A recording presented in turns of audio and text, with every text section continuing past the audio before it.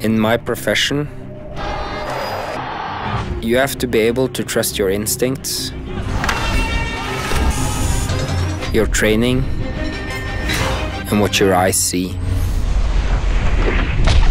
My vision is my lifeline.